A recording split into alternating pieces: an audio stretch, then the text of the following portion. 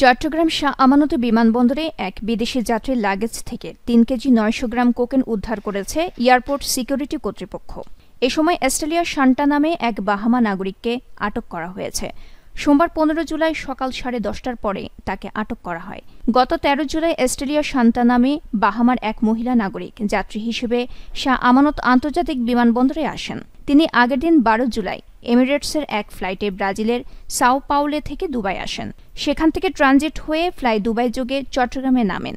কিন্তু সেদিন তার সঙ্গে কোনো ব্যাগেজ ছিল না। তখন থেকে এয়ারপোর্ট সিকিউরিটি অ্যাপিবিএন ও ইন্টেলিজেন্সের নজরদারিতে ছিলেন তিনি। বিমানবন্দরে এই জনসংযোগ কর্মকর্তা আরও বলেন, সকাল সাড়ে দশটার দিকে বিমানবন্দরে ওই বাহামার নাগরিক তার ব্যাগেজ রিসিভ করতে আসেন। এ সময় সন্দেহজনক মনে হওয়ায় তার ব্যাগেজ তল্লাশি করা হয়। তল্লাশিতে একটি ইউপিএস এর ভেতর তিন দশমিক নয় কেজি ওজনের কোকেনের প্যাকেট পাওয়া যায়।